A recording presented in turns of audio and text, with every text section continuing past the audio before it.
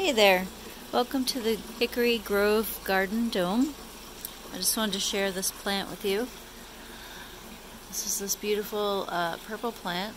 It is called Pericallis Todaisy and it is an annual.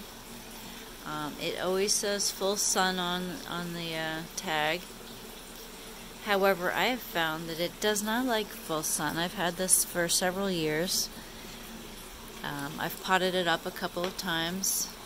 It doesn't really like full sun. It likes bright light, but not full sun. In the heat of summer, it does terrible. Um, and it dies back. And then it comes back. In the, in the fall, it starts blooming again. I brought it in from outside in this pot, and it is blooming. It is December 24th. Christmas Eve, and here it is blooming this beautiful purple color. Just wanted to share. Have a great day. Merry Christmas. Happy New Year. Happy Hanukkah. Happy Kwanzaa. Take care.